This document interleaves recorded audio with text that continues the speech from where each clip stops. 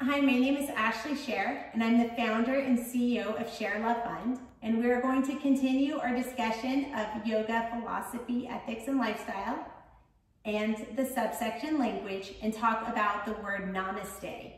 Namaste is a Sanskrit word, and it's the form of greeting or salutation that we use in yoga.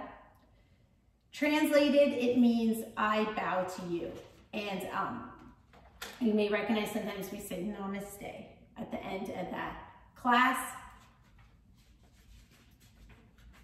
We can put our hands in prayer position to our chest, um, as I showed. And um, it's a gesture of respect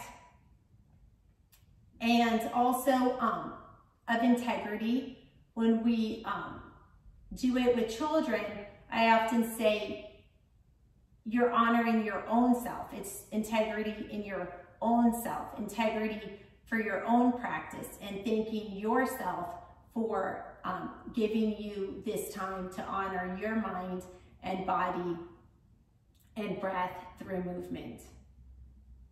Um, sort of like a pat on the back. You know, sometimes we do something, hey, give yourself a pat on the back. Sometimes um, doing the namaste at the end, that can um, that can be a pat on the back for the children. We can um, explain it in that context. The gesture can also uh, be without words. We don't have to say namaste. We could, um, you know, just put our hands together and bow. That might be more appropriate in certain uh, school settings. Um, you know, it's important to follow the guidelines of your school or if you're a caregiver, what the parent wants. Generally, at the end of a yoga session, the teacher will put their hands together and say namaste, and the students will respond namaste.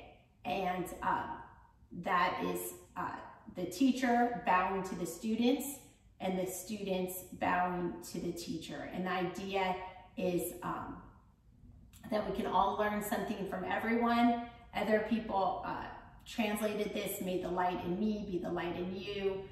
And um, it's um, not really um, generally like a submissive, I bow to you, but, um, but more of a internal honor of the practice and a recognition of gratitude for those that you've practiced with.